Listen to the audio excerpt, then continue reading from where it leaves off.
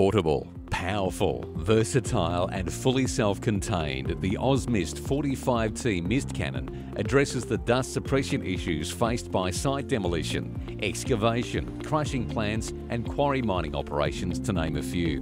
Regulatory bodies view dust contamination as a major site health and safety issue. And until now, mist cannons have been too expensive, too hard to transport and require a power and water supply. Designed and built tough right here in Australia, the 45T mist cannon is a fully self-contained unit with a capacity of 2,000 litres of fully filtered water on board.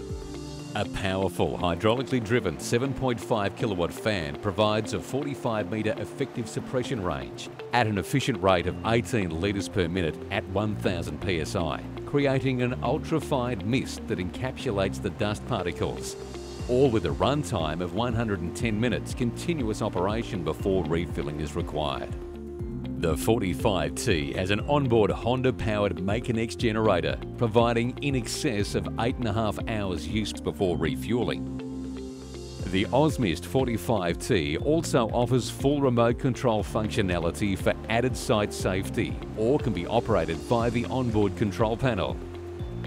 The 45T is built tough with heavy-duty componentry throughout for Australia's rugged conditions and on-site safety requirements. The unit is able to be towed by any vehicle with a 3,500 kilo towing capacity. For more details on the Ozmist 45T dust suppression system, visit ozmist.com.au.